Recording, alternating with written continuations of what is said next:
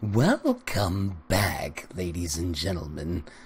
After another long weekend of working at Burial Chamber Haunted House, I finally got my voice back. Well, mostly. And all it took was a few. Ladies and gentlemen, it's time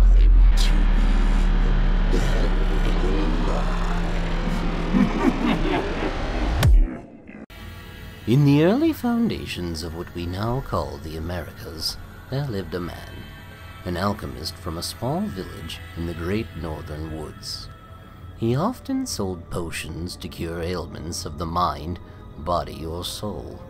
However, he always procured the reagents needed by doing the most heinous of crimes grave robbing.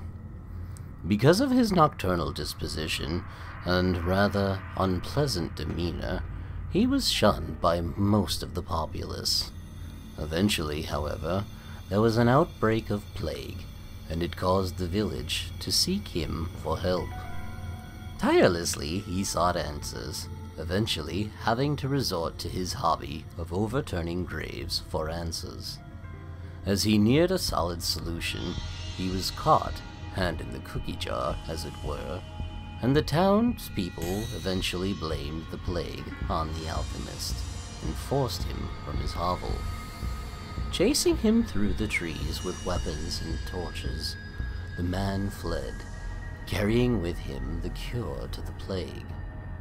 While looking back at his pursuers, he tripped and fell.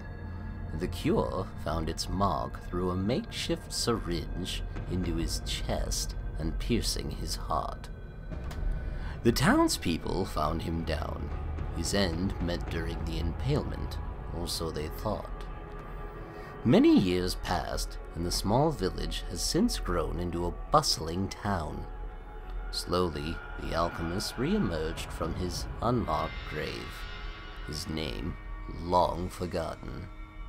He had beaten death through alchemical means, and yet something deep within him had changed. He is now obsessed with regaining life, thusly leading him to stitch body parts onto himself whilst hiding in the woods. He started with corpses, but found their parts too degraded to be of any use. Since the switch to fresh meat, he has replaced almost every part of his body, and he still practices his alchemical craft out here in Phobia. We now refer to him as Stitches, and he can be found anywhere just off the path.